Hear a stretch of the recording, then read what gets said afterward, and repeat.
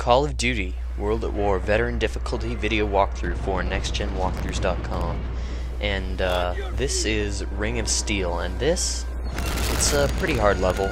Um, some parts that you might be stuck on, but it's, it's completely beatable. It's not like, um, it's not like Blowtorch and Corkscrew hard if you've attempted it already.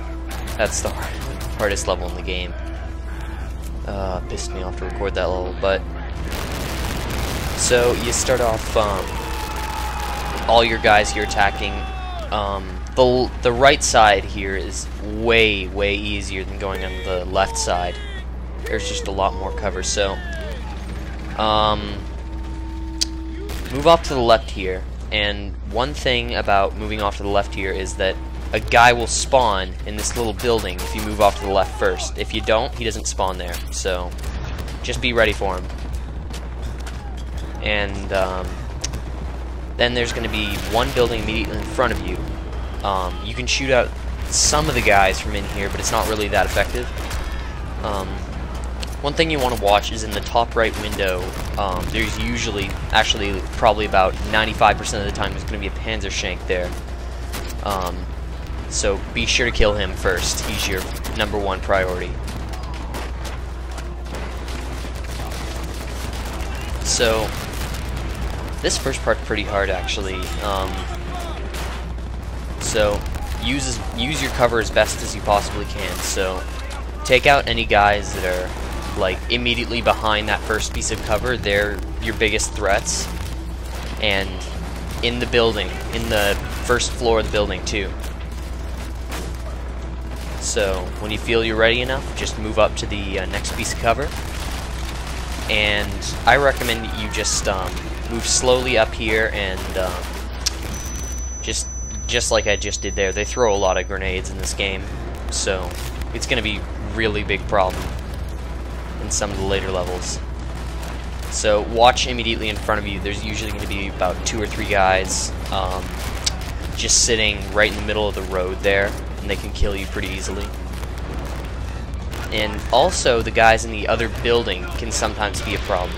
Just be sure to kill them as well, if um, if they're getting really annoying.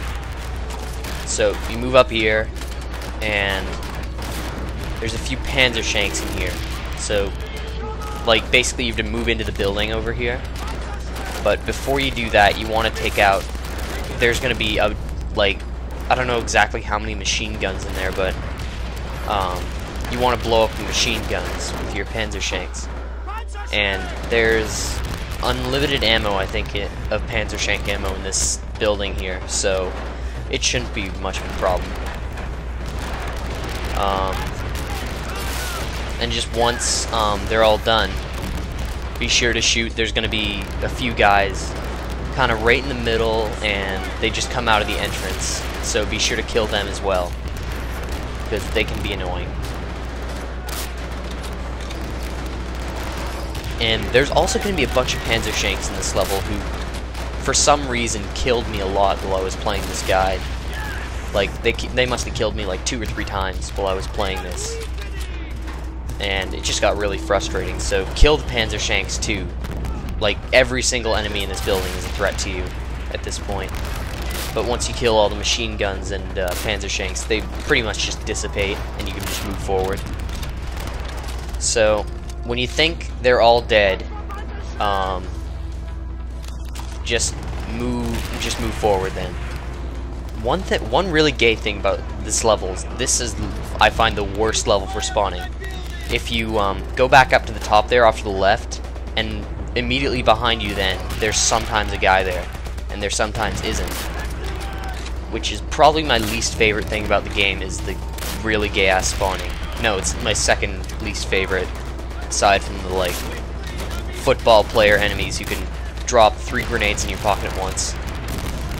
But anyway, so use these pieces of cover. There's going to be a few guys just on the ground floor, maybe five or six. They're just all going to be spilling out of the uh, doorway immediately in front of you there. So kill them all, and then when you're ready to move forward, just move forward.